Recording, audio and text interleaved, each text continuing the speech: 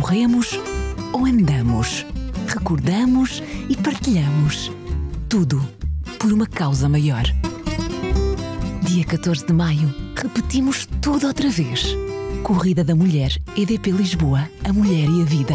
A lutar contra o cancro da mama desde 2007.